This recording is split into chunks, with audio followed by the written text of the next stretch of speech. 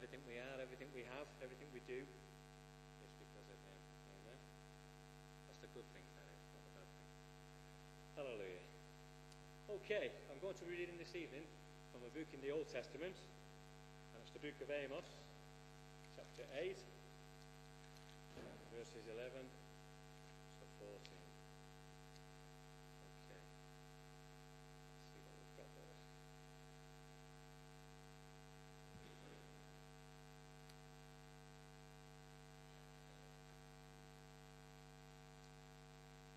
Okay, we read this. 11 to 14. Is that right? Yeah. It says, Behold, the days come, saith the Lord, that I will send a famine in the land. Not a famine of bread, nor a thirst for water, but of the hearing of the words of the Lord. And they shall wander, meaning the people shall wander from sea to sea, and from the north even to the east. They shall run to and fro, and seek the word of the Lord, and shall not find it. In that day shall the fair virgins and the young men faint for thirst. They that swear by the sin of Samaria and say, Thy God, O Dan, liveth, and the manner of Beersheba liveth, even they shall fall and never rise up again. Okay, we trust the Lord will bless the reading of His word to us tonight. Okay, this is the story of uh, the children of Israel and God was sending a prophet to them, and his name was Amos. This story happened around about 750 years BC. And this man, Amos, he was a shepherd. So, an ordinary bloke, as it were. And he was called by God to be a prophet. We all know that there were priests and people who worked in the temple and, and did things like that. And more often than, than not, they were very intelligent people. They had uh, doctrines and learning, and they were taught in the ways of the Lord. And God had indeed had raised up people like that for that job. But as Israel drifted further and further away from the Lord, God couldn't get through the priests, and so he had to raise up other people from here and from there. Because God speaks through his body, doesn't he? He doesn't just speak through certain people. And if the priests weren't going to listen, well, then God was going to raise up a prophet from somewhere else. And this is how Amos appeared on the scene, as it were just an ordinary shepherd with no education about the things of God or anything like that, and yet God was able to get through to him and speak to him and speak to his people. Doesn't it say in the New Testament that God chooses these days the foolish things of the world? The world that this world think, the people that this world think are of no use or no value whatsoever.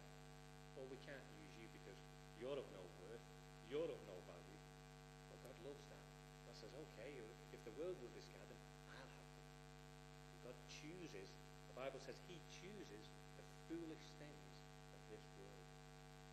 And around each other tonight, and God says that I've chosen you, the foolish things of this world. Me laughing. but he knows we are the foolish things of this world. We have been chosen by God. This world, in a sense, has discarded us.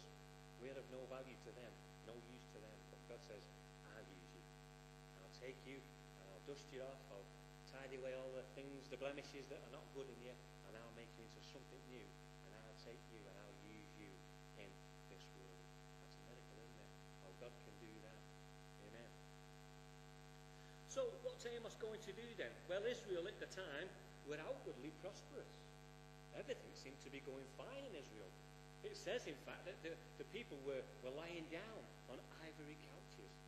Such was their industry and their prosperity in those days. Now, we all know that ivory always has been, and even is today, very precious and very costly. They're killing elephants all over the world, aren't they, for ivory today?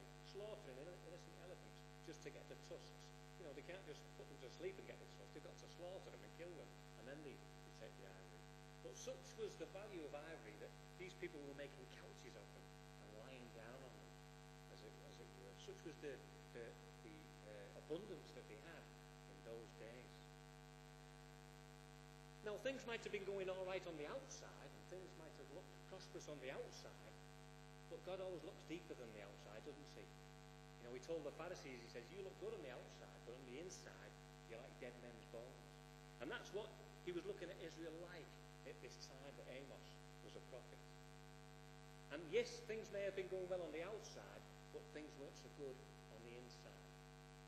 The people who were leading the country weren't leading the country right. They weren't doing things which were correct. And they were leading Israel down paths that were not chosen by God. They were oppressing the poor. They were doing all kinds of things. They were worshipping pagan gods when God had told them not to do these things. Yet still they didn't listen and carried on in the way that they chose. We've only to look around our nation today that we're similar to what it was like in the days of Amos. Today we don't have ivory couches as such, but we have gated communities where the likes of you and I can't go. I've worked in these gated so I know that they're there because I've worked in them. And are gated communities scattered around the northwest here that you you probably never even heard of. But you can't get into those gated communities unless you have a code or you've been authorised by the people who own the houses to get into that gated community. And the gap between rich and poor today in 2014 is probably just as wide as it was in Amos's day. We have the elite right at the top, separate from everybody else, and then we have everybody else right down at the bottom. So Amos's vision and uh, purpose from God was to warn the people of his coming judgment. Now God doesn't just get upset with his people and then judge them immediately. No, he doesn't do that. God doesn't work like that. God isn't like that. You and I sometimes are like that, aren't we? When somebody does us wrong or something, we want to strike back immediately, don't we? And hurt people for, for doing us wrong or doing us down or doing a bad turn. But God's not like that. He's gracious. He's merciful. He's slow to anger and also quick to bless, as we all know. We've only to look back through the scriptures and realize that even in the days of Noah, God was patient with the people. Yes, he was going to judge the world for the things that were going on, but he waited 120 years before he poured out his judgment upon a world where angels were coming down from heaven and coming and mingling themselves with mankind. We know the offspring were called the Nephilim. But God them, he told them that the things that they were doing were wrong, and he said he was going to bring his judgment. But he was patient, waiting 120 years before he poured out the flood upon the world. And only eight people were saved from that flood. So Amos had a mission like this. It's nice to come to church, isn't it, to bring a nice message. Oh, it's, it's so easy to bring a lovely message about love and everything's going to be all right and you, you're going to be blessed and all these lovely things. So easy when you've got to bring a message that where God says, I'm going to judge you. I'm upset with you. I don't like the way that you're living. I want you to change. Because then people don't like to hear messages like that. Especially in today's world of affluence and, and, and, and opulence and things like that. People don't want to hear a message like that. That we're not living right and that we're not doing right. So his mission was to warn God's people of coming judgment if they did not repent. Sadly, they rejected his message. And as we look around our world today, as we look around Great Britain and the year 2014, it's still the same today. I was working in Manchester yesterday, right in the town centre. And uh, there was a march going on in the middle of Manchester yesterday. I don't know whether you were aware of it. It was called the Gay Pride March. And uh, there was thousands of people flooding the streets of Manchester yesterday. And we were caught up in it all, working right down in the, in the centre of Manchester. These people were doing things that God has said in His Word they're not to do. God has warned us way back thousands of years ago that when we come into our promised land, that when we come in and that we enter the land that God has given us, not to do the things that the people did before us who were in this land, lest that we should be judged also and be cast out of the very land that God has given us. Now, God warned Joshua and Moses thousands of years ago, didn't he? When you go into the promised land, don't do what those people did, because if you do, I'll kick you out too. And for us in Great Britain, it's the same today in 2014. If we do the things that God says are not to be done in His Word, then He'll be angry with us too. And He will send a prophet to us too. And He will warn us too of His coming judgment. Part of the prophecy that Amos had for Israel at that time was about a famine. And the people knew all about famine. They knew all about the famines that had been in the Old Testament. They knew all about the famines that had been years before. And so they were familiar with these things. And they uh, knew that God was speaking to the people when, when there was famine in the land. They knew that, that, that uh, something was afoot, as it were. And yet today, in our nation, in our town, where we live, there is a famine. It's not a famine brought by God, but it's a famine that we've imposed upon ourselves. It's a famine of the Word of God. There's never been so many Bibles as there are today. It only takes the click of a mouse. Justin can do it probably in a couple of seconds, I've asked him, to click that mouse, and up on the screen can come a Bible. Like we've got on tonight, a Bible verse tonight. So easy, isn't it? It can happen so fast. There's even different versions of the Bible. You can have a New International Version. All kinds of different versions. We're surrounded by the Word of God. It's everywhere. There are Bibles at home. There are Bibles at church. There are Bibles on the internet. In fact, there are Bibles all over the place. We're surrounded by the Word of God. And yet many of the Bibles that we have today are never read. They're never opened. In fact, most of the Bibles, I, I suppose, in our country today are just holding up cups of tea and cups of coffee. People were there by the thousands yesterday for an ungodly march called the Gay Pride in Manchester. Oh, you couldn't get, you couldn't move. There was that many people there. And yet today, sadly, the churches that God has provided for people to work in, the churches are empty. Because there's a self-imposed famine of the Word of God. They didn't choose to read the Bible yesterday, because if they did, they'd have known that the things, the very things that they were doing, were wrong according to the Word of God. In fact, God left us warnings in the Scriptures. He said, I've left you Sodom and Gomorrah for a warning for all time that those who do such things will come under the judgment of God. But I suppose that all, all those people yesterday, and there were thousands of them, they've not opened the Scriptures. Otherwise, they would have realized that God was not happy with the things that they were doing. And yes, there were people out there with placards, and there were people warning them. I've already heard tonight that somebody knew that there was somebody there uh, witnessing and telling those people that the things that they were doing was wrong.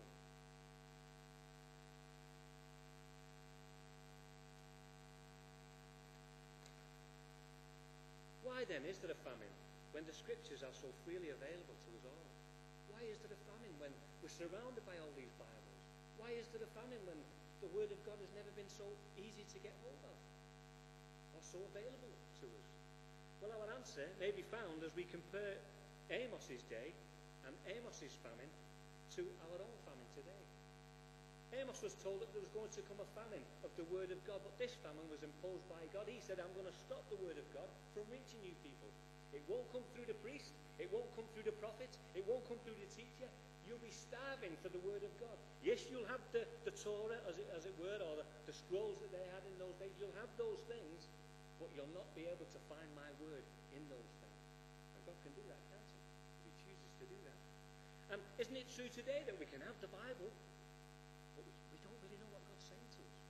What's God saying to us tonight? I'll go to church and find out. He's bound to tell me through the pastor. He's bound to tell me through the preacher. He's bound to tell me through the teacher. Isn't that the case sometimes? That we're waiting for others to get a word from the Lord for our lives? Isn't it true that that's how it is sometimes? That we're looking to other people for them to get a word for us, for our lives? Well, the Bible says that we're in a relationship, a personal relationship with God. And wouldn't He speak to you first before He spoke, spoke to somebody else? And wouldn't somebody else's word only confirm what God has spoken to you? Of course it would. So why then are people doing the same as what they did in Amos's day? Dashing here, dashing there, going to this conference, going to that conference, going to this teacher, going to that Bible scholar, trying to find something from God. Because that's what's happening in our nation today. What's God saying to you, brother? What's God saying to you, sister? What's He saying about my life? Well, if you open the Bible and read it for yourself, you'll find out what God's saying to you. But no, it seems as if that's the last thing that we'll do in the world today. We'll go to a football match, we'll go to a gay pride march, we'll go anything, anywhere, anything, anytime, but we won't open up our Bibles.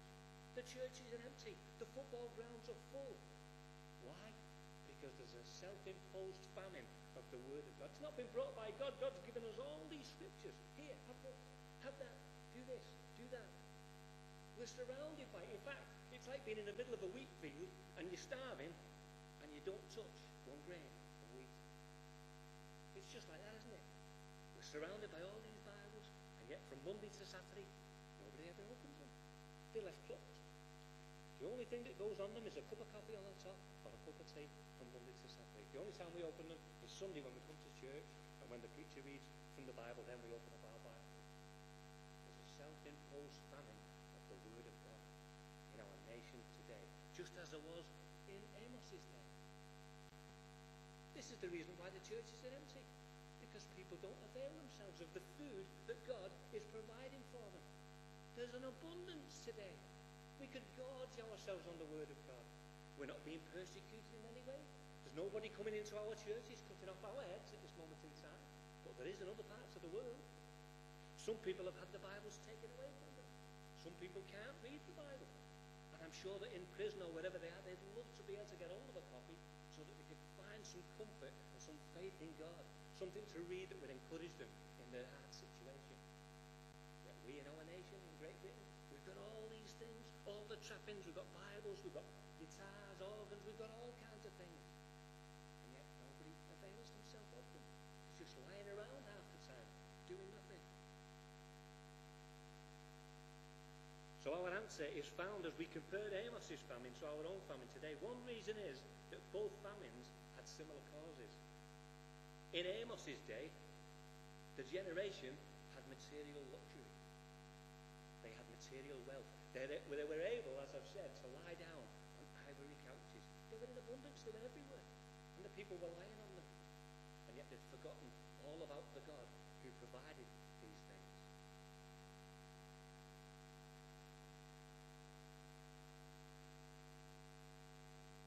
The church, it says in Amos chapter 6, verse 1, was at ease in Zion. In other words, the church wasn't seeking God with all its heart, soul, mind, body, and strength. They were searching after material things, they were searching after outward things which adorn our life on the outside, but they weren't seeking the things of the hidden man of the heart, like it tells us in the New Testament. Look around our nation today.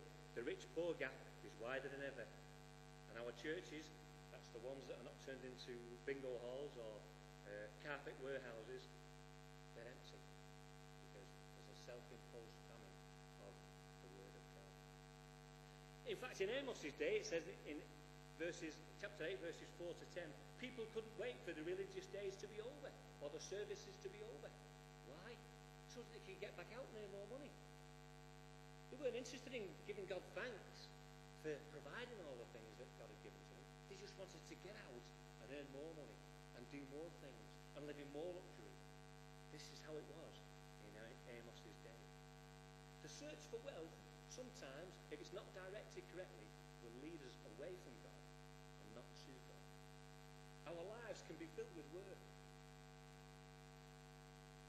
I'm working in Manchester, as I've said, and next week they're so interested in getting these flats or built or refurbished where we're working.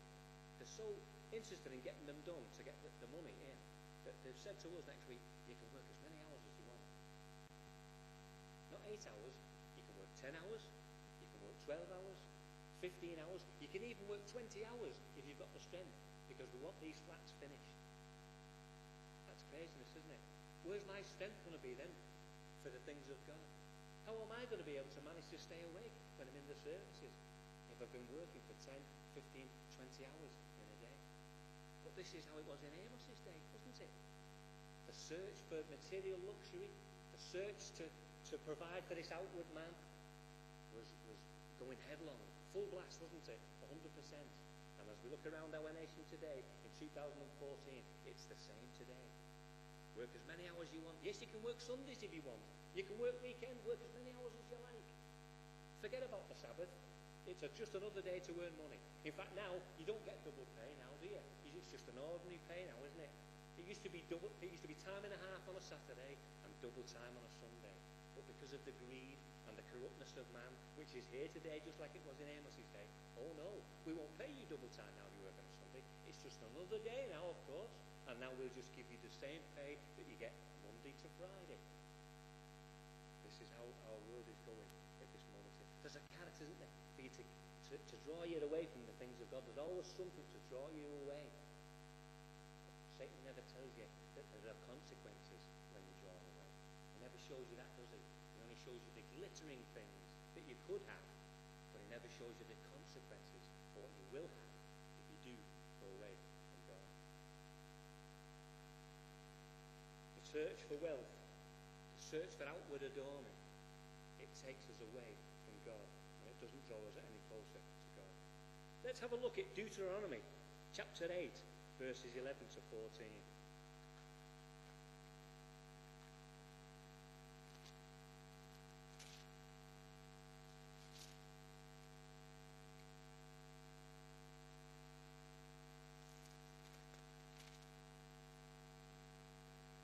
This is in the days of Joshua and Moses, and they were about to enter the promised land. And God's saying to Joshua and Moses these words When you have eaten and are full, then you shall bless the Lord your God for the good land which he has given you. But then in verse 11 it says, Beware that you forget not the Lord your God in keeping his commandments and his judgments and his statutes, which I command you this day. Lest when you have eaten and are full, and are, have has built goodly houses and dwelt therein, and when your herds and your flocks multiply, and when your silver and your gold is multiplied, and all that you have is multiplied, that your heart be lifted up, and that you forget the Lord your God, which has brought you forth out of the land of Egypt from the house of bondage. What happens when our heart is lifted up? When our hearts are lifted up, they are filled with pride. And what was that march called yesterday in the middle of Manchester? It was called Pride March. And that's all that they were marching in, the pride of their hearts. They've drifted away from God, forsaken the commandments of God, and they're walking in their own pride away from God. It's no wonder that march is called Pride March, because that's exactly what they're doing. They're marching in their pride away from the commandments of God. If we're not walking in the light of God, we're walking in darkness. Darkness takes us away from God. In fact, in the New Testament, in John's Gospel, it says, doesn't it, men love darkness rather than light, lest that their deeds be exposed and that it be shown that the things that they've done are in God. Men love darkness. They crave darkness. They want darkness rather than light. They don't want to come to church to have their uh, darkness exposed by the light of God's word. That's why the churches are empty. Because men love darkness. They love darkness. Want to walk in the light of God's word.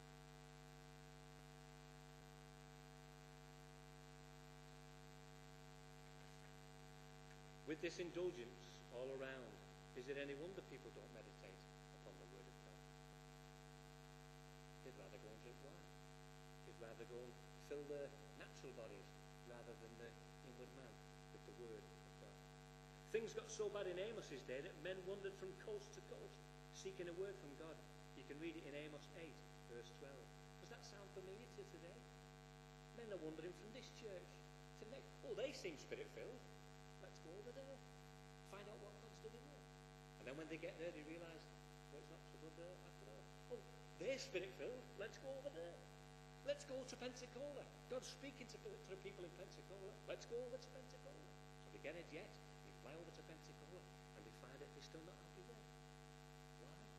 Because they're hungry inside. They're empty inside. Just like we sang tonight, hungry I come to you. That's a good place to start, isn't it? Coming hungry to God to see what God's got to say to. Amen? But these people are wandering around because they're not feeding themselves at home. We don't just come to church to be fed. We've got to feed ourselves from Monday to Saturday. Amen? So that when we come to church on a Sunday, the preacher is only confirming what God's been speaking to us through Monday to Saturday. But so many people today, they don't do anything from Monday to Saturday, and they come into church absolutely famished, not knowing what God's been saying to them all week. God saying that to me? Well, oh, I don't know what God's saying. And they're confused and they don't know what God is saying. And when someone does come and speak a word into life, they just, they just believe it straight up. Yeah, that's it. That's what God is saying to me. God's told me to be a pastor. God's told me to go and evangelize. God's told me to. to they don't really know what God is saying, but they're only moving on what somebody's told them what God is saying. Amos 8, verses 13 to 14, describes the young men fainting from thirst, others falling never to rise. Doesn't that describe the lives of many Christians even today? Suffering under the lack of spiritual food? Oh, we're at church Monday to uh, we're at church on a Sunday, but we're doing nothing Monday to Saturday. The Bible's closed all week. so only holding up a cup of tea or coffee.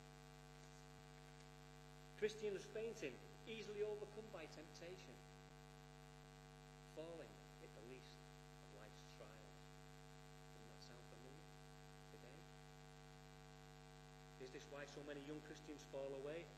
Because they're not being grounded in the Word of God. Two things are needed to resist trials and temptations.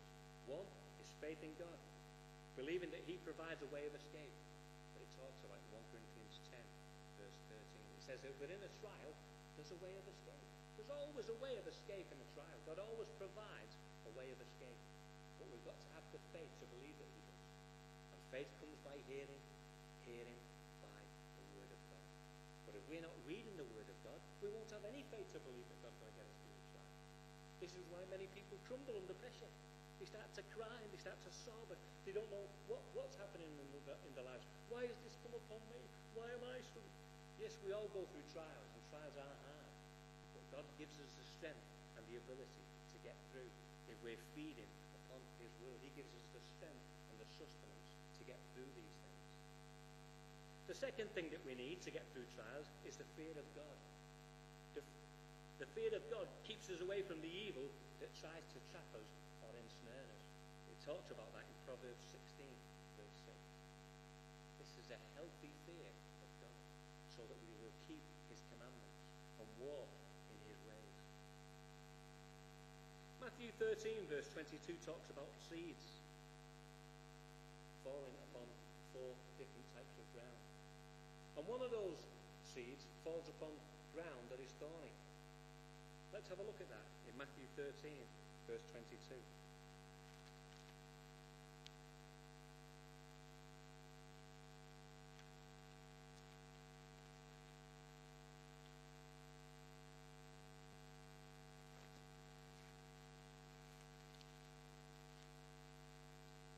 He also that receives seed among the thorns is he that hears the word, and the cares of this world and the deceitfulness of riches choke the word, and he becomes unfruitful.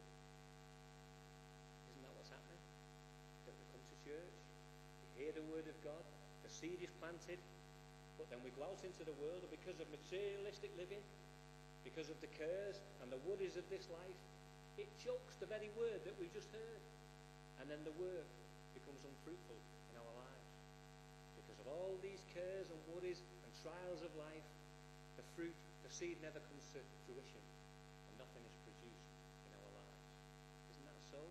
Isn't that how it is sometimes?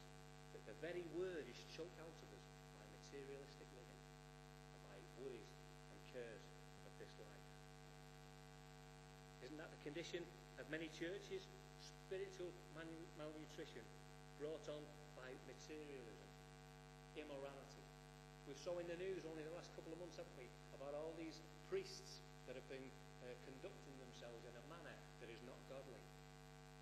We're seeing it on the newspaper, aren't we? Week by week, certain people being picked out. I'm, I'm not saying that all of these people have done those things because we don't know. It's very difficult, isn't it? You've got to wade through the evidence and find out who's, who's done what and weigh up all these things. You know, one thing the newspapers do like, it's sensationalism, isn't it? Good, uh, bad news sells papers, uh, newspapers better than what good news does. What's that saying? That bad news travels round the world twice, while good news is still getting its boots on. And it's true, isn't it?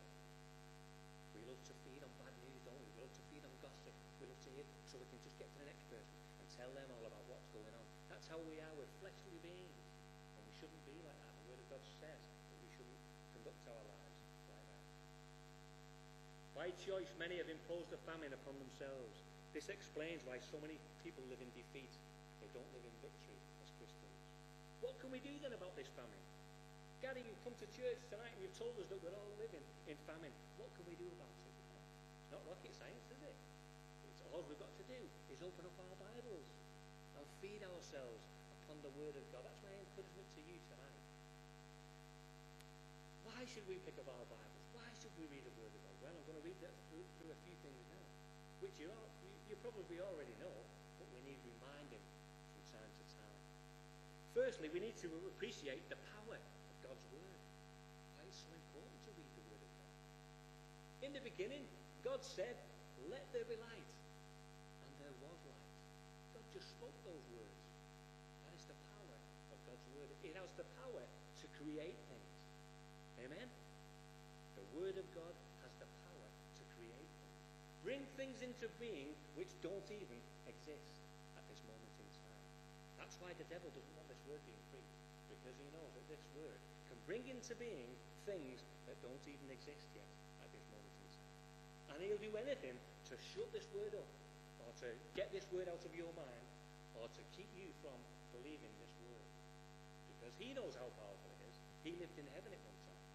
Walked up and down amongst the fiery altar stones, it says in the book of Ezekiel. Such was the place that Satan or Lucifer held in those days. So the Word of God possesses the power to create things. Power in the physical realm to produce a world that we can see, but it's also got power in the spiritual realm to create things that we cannot see. I can't see the spirit that's inside Alison or Angela. I can't see it. But there is one. Holy Spirit inside there, and they have their own spirit inside there too. If I could, my spiritual eyes were open tonight, I would see that that is so. The Spirit of God has power, and He lives inside each and every believer tonight. If you put your trust in Christ, you have His Spirit within you tonight. Amen. John 6, verse 63 says, It is the Spirit that quickens, it is the Spirit that gives life. Spirit and the Word work together. The Spirit and the Word always agree together. Amen. The Word of God has power to sanctify us. The Word of God has power to make us fit to enter the kingdom of heaven. Doesn't it say in Revelation that nothing, nothing that defiles shall enter the kingdom of heaven, but only that which is good, only that which is righteous? And the Word of God has the power to sanctify us, to make us right fit to live in heaven. It tells us that in John 17, verse 17. Sanctify them, how? By your word. That's how we're cleansed, by the word of God. That's how we're made fit from heaven, by the word of God. So if we're not reading the word of God Monday to Saturday, what are we going to be? We're going to be dirty. We're not going to be sanctified. We're not going to be fit for heaven at all. We're going to be fit for no purpose whatsoever. Doesn't the word of God says that God has got different types of dishes in his house? Some dishes are for good purposes, and other dishes are for not so good purposes. Which kind of dish do you want to be tonight? I know which kind of dish that I want to be. I want to, I want to be that kind of dish that's brought out when important visitors have, have arrived. Amen? And that's what the Word of God does. It sanctifies us, prepares us for heaven. Sanctify them by your Word. Your Word is truth. So it has power to create. It has power to sanctify. It also has power to preserve. The Word of God does, has power to preserve us, to keep us. Once we've become Christians, the Word of God keeps us as Christians. Keeps us in, in our own natural strength. We'd have packed in years ago, wouldn't we? We'd have walked out the door years ago. But in His strength, we're strong. We're victorious. Amen? Psalm 119, verse 9 says that the young men were encouraged to keep their way pure. How? By the Word of God. That's how important it is that we read the Word of God because it creates, it sanctifies, and it preserves, keeps us safe, keeps us on the way that is right, keeps us on that narrow path, the narrow path that leads to life. It has the power of salvation, the Word of God does. How does the word of salvation come to us? It comes by hearing, hearing by the word of God. And then it has the power to change us from one type of person into a new type of person. A person that is fit for heaven. Amen? So it's got the power of salvation as the Word of God. Now are we encouraged to read the Word of God tonight? It does all these things. Power to create, power to bring into being things that were never even there. Have you ever prayed something and then God's brought it about and brought it before your very eyes and showed you, look, this is what you prayed for. There it is. He's done that loads of times in our family. It has the power to create. Jesus said, if you abide in me and my word abides in you, you shall ask what you will and it shall be done for you. I never said that. Jesus said that. But we must feed upon the word of God. Like newborn babies looking for their mother's milk, as it talks about in 1 Peter chapter 2, verse 2. We appreciate the value of our daily food for feeding our bodies. And do you know what? Working 10 to 15 hours next week, if I was to do that, I'd need some food inside me, wouldn't I? wouldn't I? But isn't it the same for the, for the spirit man as well? If he's going to do any work for God, if he's going to be playing any guitars or singing any songs or preaching or what, he's got to be fed. Otherwise he's going to be famished. Isn't he? Isn't that so? If he's going to be on a, a work for God, he's got to be fed too. And how do we feed the spirit man? We feed him on the food that God's provided for us, which is the Word of God. That's how important it is. If you don't feed this natural man, what happens to him? He gets tired, first of all, then he gets sick, secondly, and then what happens to him? Then he dies. If you don't feed him, he'll starve to death. He'll have malnutrition. He'll look like one of those prisoners in the prison camps in Germany. That's how we'll look. And that's how we'll look in the spirit too, if we don't feed our spirit man. First of all, we get tired in the spirit man. Oh, too tired to go to church tonight. Too tired to open that Bible tonight. Too tired to get on my knees tonight. And before you know it, we've got no strength whatsoever. Then we start missing meetings, don't we? Oh, we miss one meeting. Then we miss two meetings. Before you know it, we miss three meetings. Before you know it, we've not been for a month. Why? Because we're not feeding the spirit man. He's getting no nourishment. We start drifting away. Then we're on a slippery slope down, aren't we? On the way away from God. This is how it is in the spirit man. Because we're not feeding him. Feeding him how? On the word of God. This is his food. Don't leave your Bibles closed all week. Open your Bibles. Feed that spirit man. And when we come to church on a Sunday like we'll all have something to share because we've all been reading the Word of God. We've all been feeding. We'll all be full and we'll all be giving out that which we received through that week. Isn't that how it works? Of course it is. You know as well as, well as I do. Now, as I've already said, it must be hard when these spiritual aids are confiscated.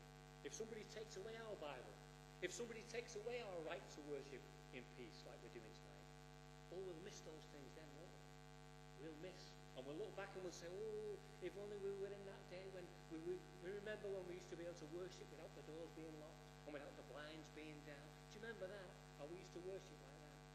Well, that's what we're enjoying right now, isn't it, in our nation? Freedom to worship how we like. But what if, a year or two down the line from now, that somebody takes away our rights as Christians to be able to worship like we worship.